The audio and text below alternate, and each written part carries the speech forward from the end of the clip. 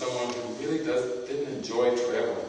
I, I can't say that it's like, oh, I just can't wait to get out there and start talking about God all over the world.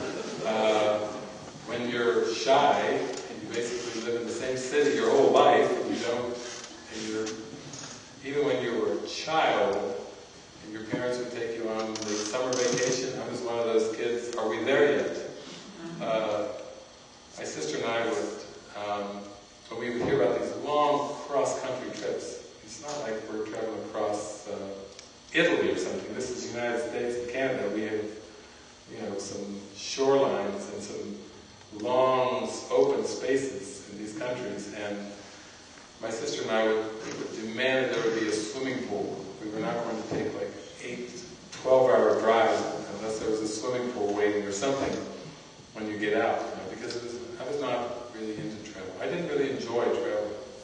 But then again, this is God's plan of salvation, not David's. It's not the personality self that says, well, I, okay, I know the way. The personality self does not know the way. It's the denial of the way. It's the mask. That's what personality comes from. Persona is mask. You can't expect a mask to tell you how to live down a mask. Because a mask only knows itself. So, anyway, in 1991 began lots of travel, guided by the Holy Spirit. Hmm. It's interesting when you don't really have an inclination to travel, and then when you're told to go, all you're told are, trust in me. Uh, I will lead you. I will lead the way. We, some of us read the Bible. Look at the lilies of the field, they neither spin nor toil. And yet all, is it, what is it, Solomon is not, you know, it's the whole thing about the, the ray, you know, it's so taken care of. Or seek ye first the kingdom of heaven, and all things will be added unto you. And then in the Course of Miracles, it's kind of like Jesus is like, in case you missed it, been telling you this for centuries, but just in case you missed it, he's got the little paragraph in there that has kind of become known in the Course as the promise.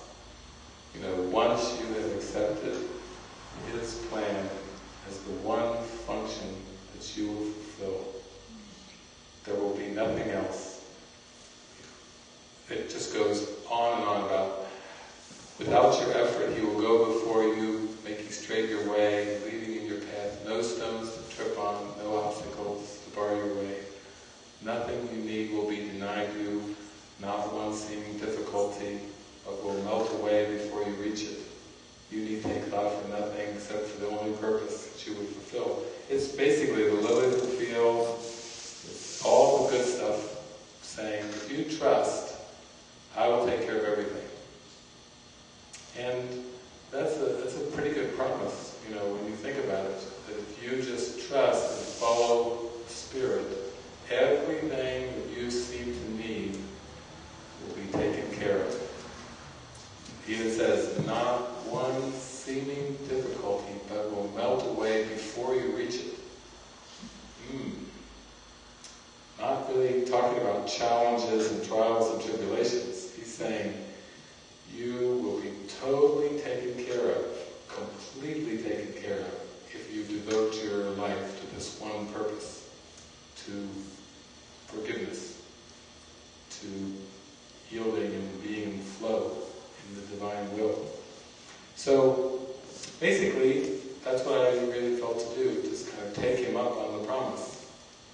So when I was guided to travel, I was impelled to travel, I was like, okay, you understand that I don't have a lot of money. I don't know how you travel in this world without money.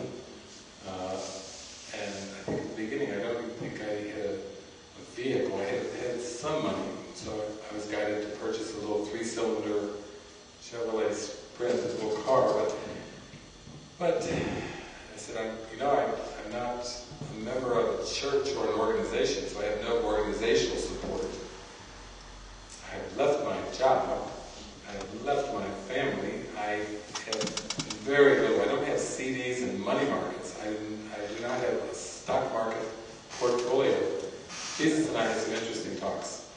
I was saying, let me tell you about how it is in this world. And he says, oh yes, I knew that. I've been there. And I said, you know money does not grow on trees. I can't just go and you know, pluck hundred dollar bills. Go into Canada. Oh look, a tree of loonies and toonies. it's raining down coins. Jesus said, I know that's what you believe, and I will show you another way. I'll show you beyond what limits that you have. You have a lot of limits, at least in scarcity and lack and survival. And I not only had kindergarten, grade school, junior high, high school, but I stacked on, yes, 10 years of university on top of all of that. So I had about, let's say, about 22 and a half years of education going against me. and Jesus saying, you, you have learned this world. You built this world with learning. And not one point did you stop to, to try to ask, what was this for? You just continued layering upon illusion upon illusion, complexity upon complexity. Now after 22 and a half years of this, plus your parents' conditioning on top of that, uh, you are not in a position to know anything. Uh, you have wound yourself so dark into the deep into the darkness that uh, you you really think you know something, but you don't. Uh, there's nothing more arrogant than thinking you know something when you don't. Jesus calls knowledge heaven, and this world is just a layer upon layer of what did Shakespeare say? Much ado about nothing. You have learned nothing, and you spent a long time doing it. Not just 22 and a half years, you've been at this for millennia. And it's got to stop.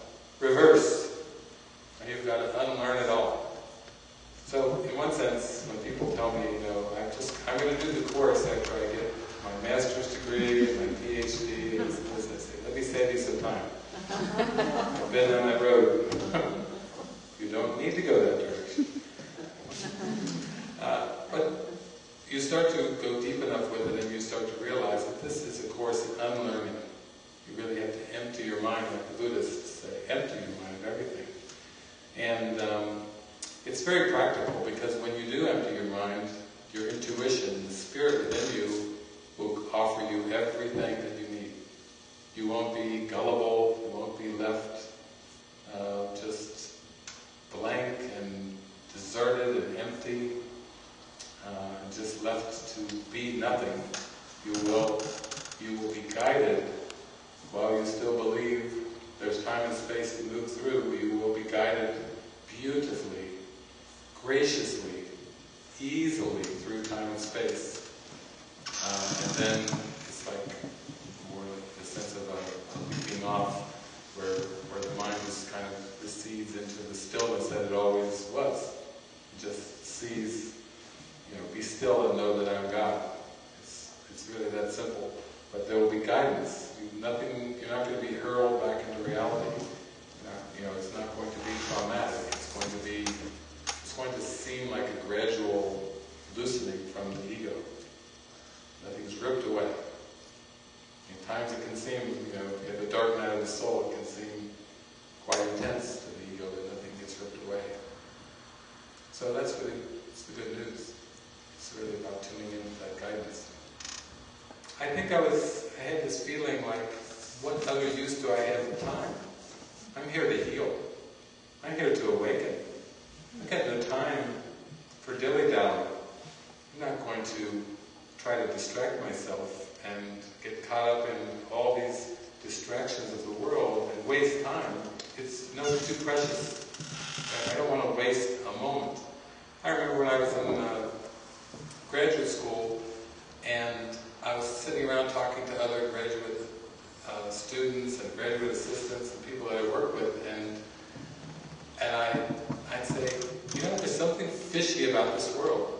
I'd say, in graduate school, and they'd say, yeah, right, and okay, and, and I'd say, and, uh, and I'm going to get to the bottom of it. I'm going to get to the bottom of it. It's the last thing that I do. I'm going to get to the bottom of this fishy world. And they'd say, well, I would go about it, talk about it, and oh, they didn't, the people did not like being around me. I was questioning everything, absolutely everything. I wasn't going to assume anything was true just because somebody told it to me or I read it in the book. I didn't care who said it. I didn't care if the Buddha said it or Jesus or Hitler or whatever. I mean, I'm going to question things. I'm going to question the heck out of this world because there's something fishy about it and I'm not just going to take it on a silver pl platter, you know, and just swallow it. So after this went on for a while, we started to question things. I remember my friends and associates and everybody say, David, this is no way to live. Get a life. Get a life. And I say, get a life. Get a life. Okay. What do you mean by get a life? And they say, well, you're going to get into a relationship, get into debt, get mortgage, uh, get lots more debt, get into working to pay for that debt, grow old, get sick, and die.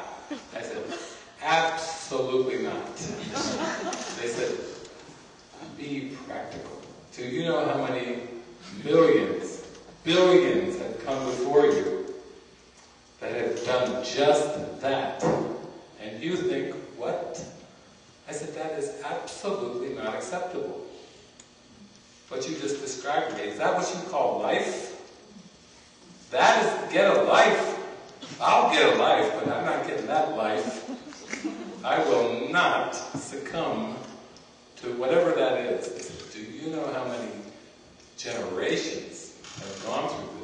I, am not interested. I don't even care how many generations have succumbed to this mesmerism, to this hypnotism, to this suggestion of scarcity and lack and death and sickness. That doesn't sound good at all. That doesn't sound appealing at all. When I was in high school, you know, they make you take those aptitude tests. And I had some aptitudes. They say, oh, very good, you're good at this, and good at that, and good at mathematics, and good analytical mind. And, you know, they give you the spit out, you know, the, the printout and everything. And then they try to match your aptitudes with what you, you like, with what your desires are and everything. Try to, oh, the map, the map came out crazy for me when they tried to, the, the guidance counselors, they were like, what do you say to the parents? It looks I mean, nowadays, I mean, at the time I thought, huh, that is a mess.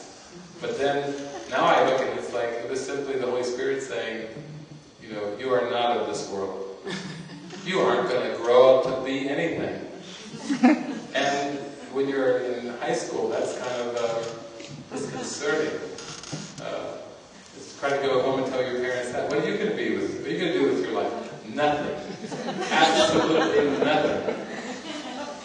20 years, 40 years from now, will I be proud of you? Probably not. Probably not. Are you going to make me proud? Doesn't look like it's going that way.